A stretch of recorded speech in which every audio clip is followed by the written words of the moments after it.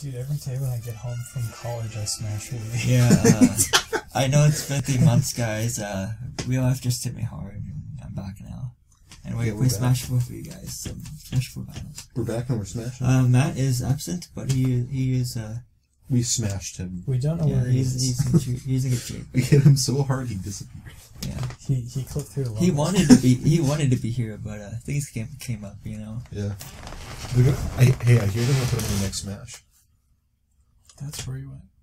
They're scanning him in the smash. yeah, they're virtualizing him, like uh, like it is Code Imagine a picture of Matt. It's like a candid picture, and he's in the full like 3D scanning gear they put you Yeah. on.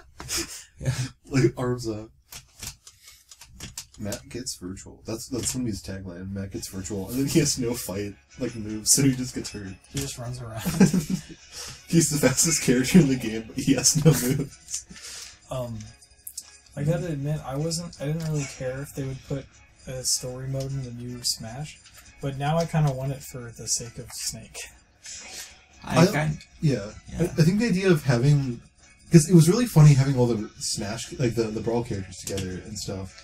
But I- with all the people they've added now, it's got to be way fun. yeah, I I, I, with. I, I, I some all names and just make new ones. That's probably a good idea. Cover names, yeah. We didn't have a lot of like Yeah. good. Or names. ethical. Oh, don't forget to shoot the stock when we're ready. But like, I know you're Yeah. typing, so we don't want to type Are that you- now. Toby. Okay. Uh, you know what? I'm gonna go one further, Gus. okay.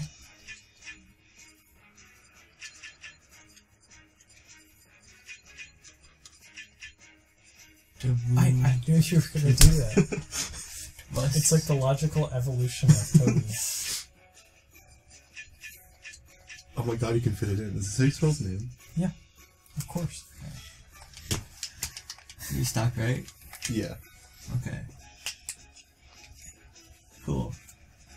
I think Smash Balls. Yeah, Smash Balls is still on because I did I did a, a warm up battle just to give me.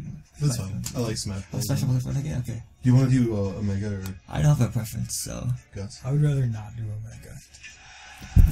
I uh, it'd be cool if you could do like loadouts of which items you want. You know, like You get to select. yeah, You can. like oh, You get to select what spawns and what doesn't.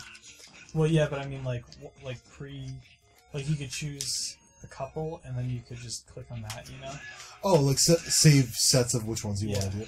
That's a good idea, actually. I think they're getting closer to th- things like that in the game. Like I know that they have that for uh, move sets now in Smash Four. wait move sets. So like if you set up your controller to the buttons do certain things, you can save those to a, a name, Oh. so you don't have to reset it every time. Oh no! Oh, gotcha. Can you see in the sword just whacked me also? I like the idea of being able to throw a giant sword like that so hard it hits someone and tosses them upwards. I was looking up the other day. Um, if you fight with like a warhammer, what sort of armor you would want to have to like make up for your defenses? But the only thing I could find about is about like um, how you fight people. Like you fight people, armored people with hammers, and that's their effectiveness.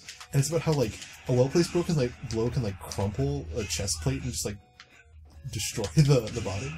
So wait, when you meant like what they would wear, do you mean like the person wielding the hammer, what sort of armor they would want to make up for like fighting with a, a hammer? Like what what parts that they would want defended the most? I see. Because I'm trying to design someone's armoring. Oh, you got me there.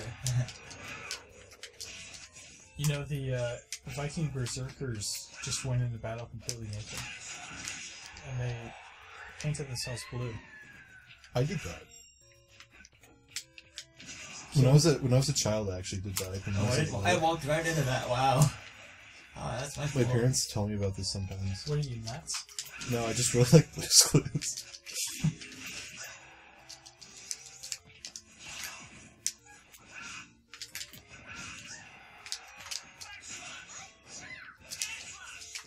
Wait, I did something where I like. Oh yeah, I like how she can levitate like that. Yeah.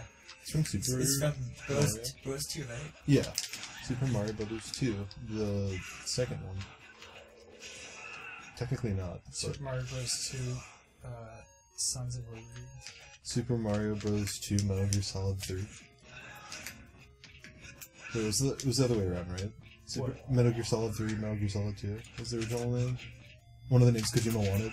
Oh, I do remember. And they were that. like, no, you can't do that. Yeah. I wish it. Uh, I know that they would never put that in because it would be too like easy to abuse. But I wish the announcer would say your screen name when you won, so I could hear Tobuscus win. Oh, you mean in Smash? Yeah, no, just in real life too. I wish the announcer would say your name. And What if you're walking around and you just heard Tobuscus wins? I'd be really scared. It's like um, it's like a secret message, like a cult would leave. Like, yeah, Tobuscus wins. You know? Actually, I just heard. Oh, wait, oh wow, I did the same thing. Actually, checking that. Uh, I heard that Ryan Reynolds is going to be in a movie uh, where he plays an NPC in a video game who realizes he's an NPC. That sounds like a fun movie. Actually. It's like such a weird concept that I'm really curious as to what it would be like. There's a there's a, a good Japanese show that I haven't I haven't watched yet, but the idea is it like takes place in like a, an older JRPG, and so it's just like a comedy about a bunch of the weird things. Like there's one scene where it's uh the four people and they're all walking one behind the other, and they uh okay. they're like walking through a house and they're just like upturning everything, and it's like destroying shit. And then they go over and talk to the woman, and she's like says one thing, goes okay, and then they like turn around and talk to her again, and she's like just like stop, just like stop talking to me. The game sometimes refurbished uh, NES classics and SNES classics. Oh, really? A little cheaper, yeah. I think I'm thinking if I do want to buy those two things, I want to get refurbished. Oh, yeah, that might be a good idea, Yeah. especially because it should be working just as fine. Yeah. How much are they? Uh, one, I think the SNES classic was 74, and then the uh, SNES classic is like 55, 54. I- Interesting. Yeah. this price range, yeah. And that might be a, a good way of finding it, especially if you can't uh, find it in other places too. Yeah. Okay, yeah. 'Cause I do want to eventually maybe get one, because they're, cool. ones. Yeah, they're fun little devices. They're, Yeah. they're really nice for playing the games in HD. Yeah. Just like a really, like- HDMI cable. Mhm. Yeah. And you can, uh, it's really easy to modify them to load your uh, NES games or SNES games that weren't on them. Yeah. Uh, and there's no, like, I don't think there's any risk to it because I think you can just reset it easy. I know Matt did it. Yeah.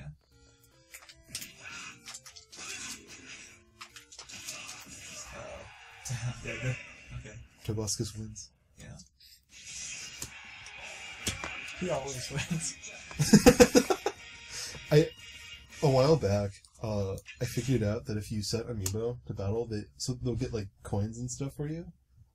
Uh, so I just would set eight Amiibo to fight for as long as possible, which was like two or three hours at a time. I just have it play in the background while I to, to farm coins for trophies. And I've gotten to the point where I have most all of them, but uh. I think I don't have a lot of the ones you have to do specific, uh, like uh, tasks for and stuff. But I have most of the ones you can buy.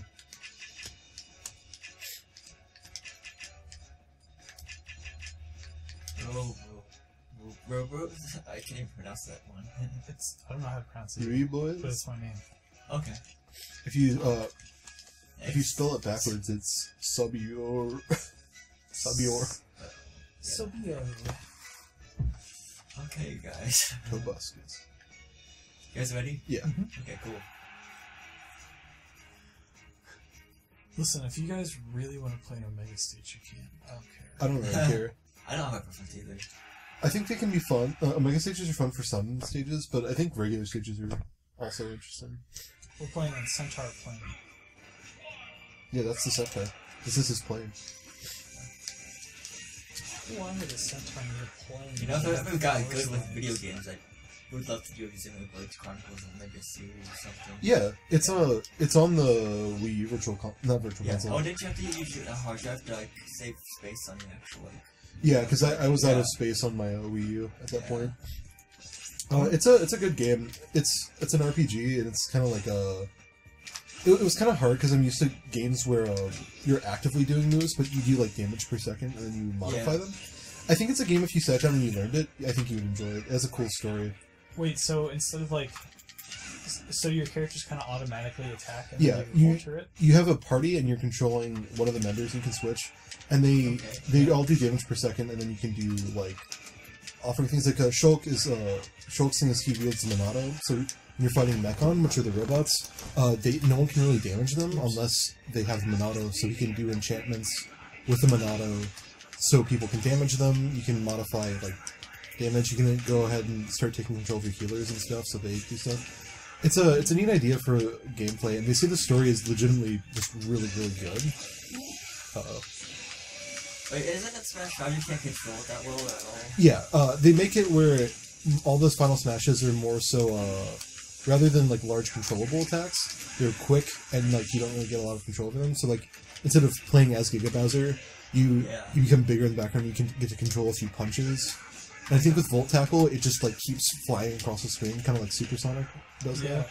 Like snakes, where you were in the plane and you could shoot everybody. I think it's the same thing, but it just shoots it for you basically, and it's like really fast. Yeah, it's kind of a neat idea for like getting across the battlefield, or like making them go by quickly because some of them do kind of like linger, like Wario Man or uh, uh. Just. Yeah. We we modified the game exclusively for Wario. The rumor right now is that there's only two more characters that they haven't announced. Oh, But, uh, rumor, huh? Yeah, because they haven't said for sure, but Yeah. we're, we're getting oh, oh we're getting close to release, and uh, the special edition of the game, the box, had only two more slots on the side for new characters. So people were thinking that might be the case. Oh, yeah. More the merrier. This is... Wait, are they, are they, are they kind of hinting that the Nintendo Switch is the last Nintendo console? Or, Uh, no, I don't think so. I think they're doing Ultimate, so it's like the oh, this is the best version of Smash to get. yeah. I think they're really trying to promote this as like this is like one of the best versions of Smash they've made so far, Yeah. and so they're wanting everyone to get it since the Switch is so popular. Okay. Yeah, I think the only time they'd stop making game consoles is when they like physically can't anymore. Yeah. I mean, at this rate, they definitely can, right? They're like Yeah. doing really successful. And Yeah, they, yeah. they've even mentioned like the Wii U was a pretty bad failure for them, but like they, I think they publicly stated they could have that happen a few more times before, uh, like shut them down like Sega had happened to them. Because Sega, Sega didn't just fail because of the Dreamcast. Sega had been failing since uh, the Genesis was becoming irrelevant. Because Sega wasn't ever, they they uh, they never fully supported the Saturn the way they should have. Like it never had a full Sonic game. Um, and then they did a bunch of failed things on the Genesis, like the Sega CD and the 32X. And then the Dreamcast was good, but not good comparatively to things like the PlayStation. Because Yeah. Sony was really like, Sony was such a competitor in the market that people hadn't expected at the time. Oh my god. Yeah, it got knocked out of me. he just killed Wow. all of us. Yeah, I just all just Metal set Face, the you record did. straight. One for the third. I want to see the boy. Oh, I'm dead. Um. I'm about to get absolutely murdered by Pikachu. Oh, Sam, It's the still, uh, it might still make it I don't know. It's possible. the the combat you're describing in Xenoblade, it kind of reminds me of um, I think it's Final Fantasy ten, maybe, where uh, Is that the one with uh, Tidus and Lulu and uh, Yuna? Like, well, I okay, so I definitely remember that that's ten, but I don't remember if that's the one I'm talking about. okay. But um, uh, I need to play that still. I've heard that it has like one of the most interesting Final Fantasy fighting systems because it has almost like a. Uh, actually, I'm pretty sure it is ten. Um, but it it like it's almost like programming apparently, where you can have Ooh. them like if a certain thing happens, then they'll do this, you know. Oh, that's really cool. Yeah. And so I think you just do the normal like Final Fantasy playing for your character, but your teammates will like, you know, do whatever you program them to do, kind of. Interesting. So it's like NPCs that don't just do set things, but you can choose what the set thing is. Yeah. Like within their capabilities. Oh no. Oh, that was good. That was a that's a really good use of the thunder. I remember when I played Brawl a lot, I, I, I was trying to figure out ways of using the thunder, but I, I ended up being spamming people.